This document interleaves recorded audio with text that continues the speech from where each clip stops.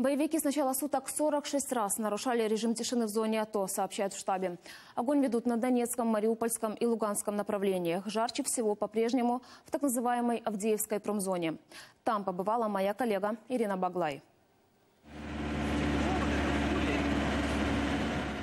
Едва успеваем доехать на позицию за Авдеевкой, как со стороны оккупированного Донецка начинается обстрел. Под огнем ствол шахты Бутовка и ближайшие позиции армейцев.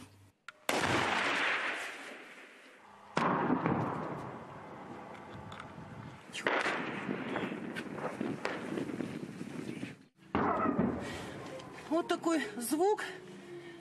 Это сейчас идет танковый стрел наших позиций и позиций. Надо уходить в укрытие.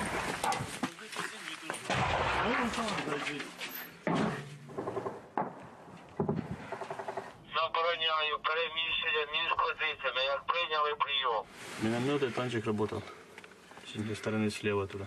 Там, получается, у них развязка, там дорога как раз оттуда работали. Катается так по периметру полностью. Начиная от моста, от работы. И все сюда. Боевики поменяли тактику, начинают обстрелы с крупного калибра, потом по убывающей после танка бьют из минометов.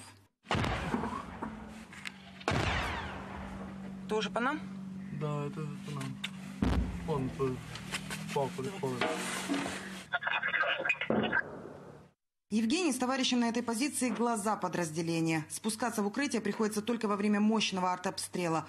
Уже наловчились, по узенькой лестнице слетают вниз за секунды. И также молниеносно снова на пост, когда обстрел стихает. Когда свистит, страшно.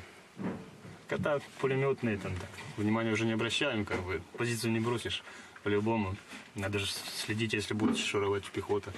И действительно, после тяжелого вооружения боевики пускают в ход стрелковое и пытаются прорваться.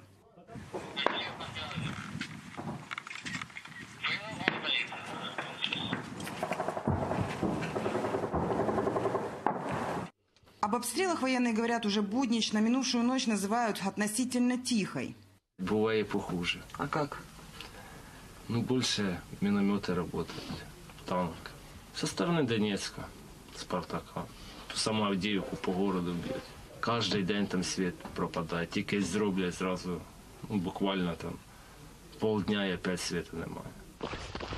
На обратном пути замечаем между позициями свежие воронки от мин, а на дороге, ведущей в Авдеевку, вот такой новый привет от боевиков. Прилетел со стороны захваченного поселка «Спартак». Не взорвалось. Ирина Баглай, Андрей Костюк, Анатолий Воробей из Донецкой области. Подробности телеканал «Интер».